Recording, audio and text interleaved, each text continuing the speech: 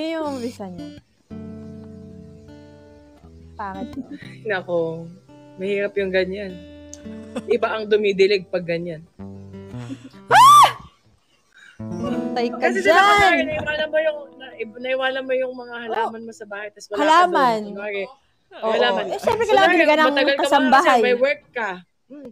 May Oh. work ka, tapos naiwanan mo doon. May ibang magdidilig ng halaman doon sa Oo, bahay. kasi malalanta, te, pag hindi. Oo, Mamamatay.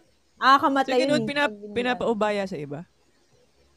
Na magdidilig? Pinapadiligan lang. Hindi Kasi eh. mama, I mean. Depende, kasi pwede namang ipaubaya mo sa iba. Dapat may consent. Eh kaso, paano yung diniligan May na lang, consent din tapos te, nung halaman. walang Nung consent. halaman ba? O nung ano? Nung may-ari ng Oo, halaman.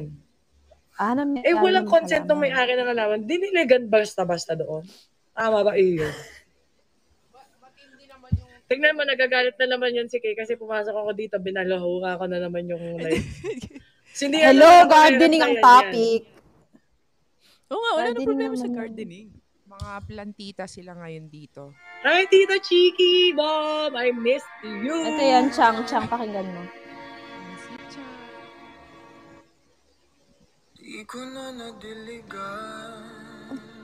Saklap ko. Ang sak- Ang ina Ang nakakagalit. saklap na masagwa. Masaklap na masagwa siya. Yun Gusto ko yun. manakit eh. Eh, Yun ba yung injury mo, Eya? Yung dilig. Hindi nadiligan yung halaman? Parang injured. Medyo- Ako, teka lang. Alam ko din ako naglalaro. Ah, injured ka din? Nakaka-injure yung Ang dami na injured. Ikaw din kay injured ka? Ikaw, athlete ikaw, yan. Injured ka ba? athlete Ako? ba to? Oh, May injured. May injured. Ako may Kakagitara. injured din ako. eh. Kakagitara! Kakagitara, ang ibig niya sabihin. Bakit parang... Parang bumibilis yung heart rate ko. Eh, ikaw, ano, Brad, injured ka din? Mm-mm. Hindi, may injury ako sa balikat. Injury. Diba? Ikaw, Chang. Ako po, kaka-injured ko lang actually. Wala Nakapal kang sprain ako nung mga five days ago. sa CR. Apparently sa CR po siya. Opo. Apparently na parang hindi talaga sinadya. Accidental. Oo, hindi talaga. Ang ganda ko eh. Ayoko na. Di na lang ko mag-tell. Di na lang ko mag-tell. Hindi nila mag-talk. Di na lang ko mag-talk kay... Listen, Di, di listen. good siya ano. Ayan. Di good siya maayo. Istorya. Na si Kamoy dire? Ay, andito si Camille? Wala ko. Hindi, may sinend Wala. lang.